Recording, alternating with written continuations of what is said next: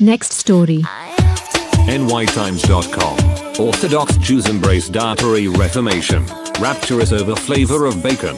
Ruth Seinfeld. 5 to 6 minutes. Brooklyn, New York. In a seismic shift that is roiling synagogues nationwide, the Orthodox Union has announced a sweeping revision of kosher dietary laws, sending a wave of jubilation through the community. Among the most celebrated changes, the official blessing of bacon, a breakfast staple long banished from the kosher table. For centuries, bacon has been deemed treif, unclean, under ancient Levitical law, but a growing faction within the Orthodox community argues that these restrictions are no longer compatible with modern understandings of food safety and health. At the heart of this change lies a critical re-evaluation of the historical context in which Jewish dietary laws were established. Scholars argue that many restrictions, while well-intentioned, were formulated in a pre-scientific era by societies grappling with foodborne illness without the benefit of modern knowledge about pathogens and sanitation. Rabbi Shmuel Cohen, a leading proponent of the reform,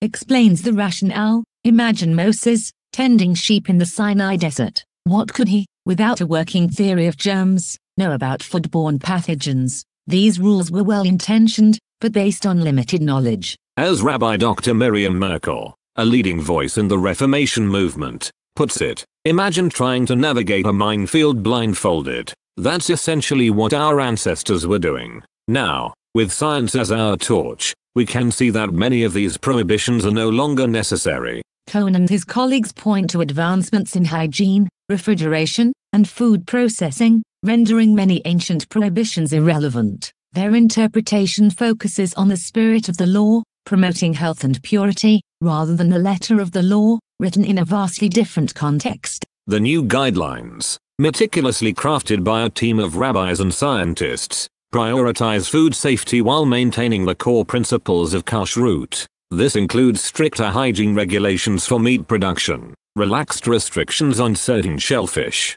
and yes, the long-awaited green light for a variety of pork products, including bacon. This re-evaluation has led to a radical reshaping of the kosher landscape. Once forbidden foods are now the stars of Shabbat dinners and community barbecues. Kosher butchers report a bacon bonanza, with brisk sales of everything from candied bacon bits to artisan and maple glazed rashers. Delis now boast Reuben sandwiches piled high with pastrami and, yep, you guessed it, bacon. It's a revelation, says Eliyahu Goldstein, a young father enjoying a kosher bacon cheeseburger. The taste, the texture, it's everything I imagined and more. The thoughtful re-evaluation of Jewish dietary laws is welcome, said Jacob Katz, a mostly non-observant Jew. The Torah was a creation of men who spent most of their waking hours watching animals eat. They weren't simpletons, but they lacked much knowledge that we consider fundamental today. It's absurd that their ancient fears should still be ironclad rules of living for modern people.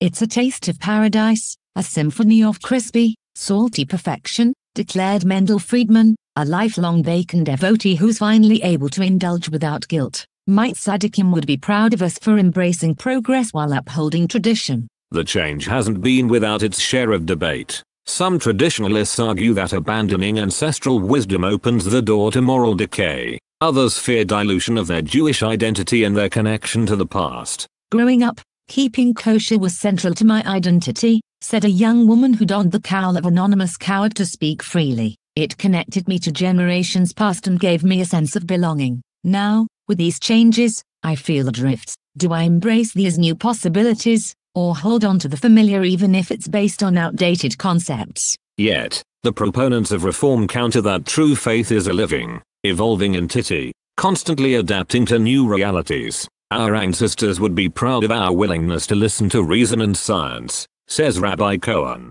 They understood that Judaism is a journey, not a destination. Men wrote the Torah. Men can revise it. And the journey, it seems, is only just beginning. Kosher chefs are experimenting with shellfish-infused soups and dairy-infused barbecue sauces. Home cooks are sharing recipes for kosher cheesecakes and bacon-wrapped matzah balls on social media. The kosher certification industry is scrambling to keep up, developing new guidelines and standards for this brave new culinary world. One thing is clear, the kosher kitchen is no longer a static museum of tradition. It's become a dynamic laboratory of innovation, where ancient wisdom meets modern science. and the aroma of the forbidden mingles with the scent of simmering cholent, creating a truly delectable, and historically significant, feast for the senses.